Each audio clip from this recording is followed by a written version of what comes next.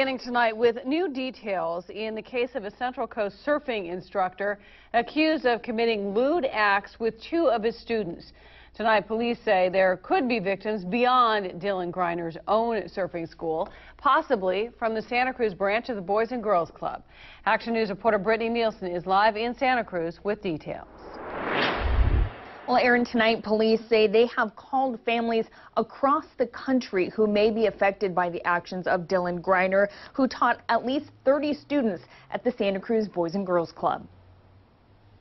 This is really predatory behavior. Police say Dylan Greiner took inappropriate pictures of young girls who took lessons from him while attending the Boys and Girls Club.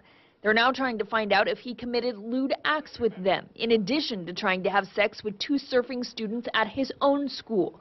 Police say he also secretly videotaped girls changing into wetsuits in his dressing rooms. You know, we know that we had done a full background check on Mr. Greiner, that he was has a large footprint in this community, well known, respected. He passed background check, did checked references.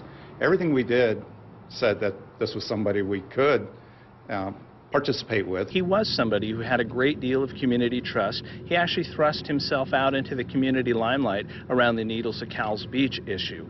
And so there was nothing really that anyone could have done or could have known. Greiner taught nine classes of Boys and Girls Club students at Santa Cruz beaches, along with two classes at the Boys and Girls Club pool on Center Street, which is where the newly discovered pictures were taken. He also um, you know, came here twice with his surfboards and put them in our pool and to help kids learn to get up without the ocean crashing around them. And uh, each time we had our staff with them, our own lifeguard was in the pool. This just shows the secretive nature of what he's doing and how he is, you know, secretly recording and taking these photographs. They're completely inappropriate uh, photographs. They're focused on inappropriate body parts, and it's it's no mistake what he's doing. Investigators have found 500,000 inappropriate pictures and videos on the well-known surfer and environmental advocate's computer. We thought we were giving them an excellent opportunity they wouldn't normally have to learn how to surf. And this is the kind of person that should not be out,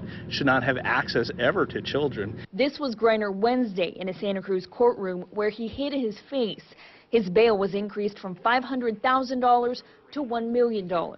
He did not enter a plea and was charged with 28 counts, including lewd acts with minors. Now, the Boys and Girls Club in Santa Cruz has sent out letters to every parent of every child that has gone to the Santa Cruz Boys and Girls Club, along with every parent of kids who participated in these surf classes. They're asking for information also, along with being informative. They're asking for information on this investigation. Dan, Aaron. All right, Brittany, thank you. Santa Cruz police say the magnitude of this case gets bigger every day. So far, they've received 100 phone calls from concerned parents, and they continue to get 15 to 20 calls every day. Investigators have set up a special email address uh, if you want to contact them about this case. Have any information or questions, you can send them to investigations at cityofsantacruz.com.